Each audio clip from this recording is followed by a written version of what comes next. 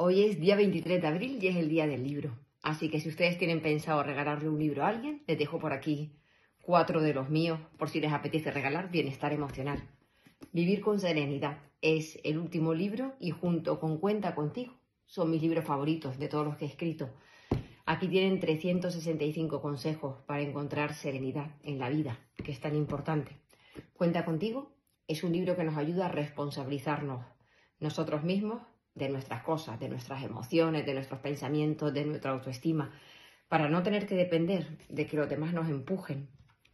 Si ustedes están pasando por alguna situación dura, algún problema y quieren trabajar la resiliencia, somos fuerza, nos da herramientas para aprender a lidiar con la adversidad y a, ser, a salir fortalecidos de ella.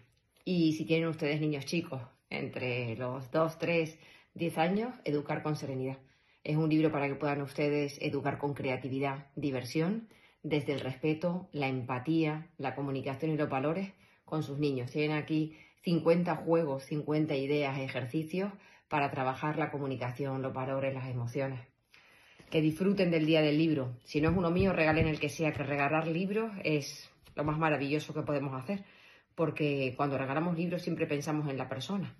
Así que se convierte en un momento muy especial. Un beso.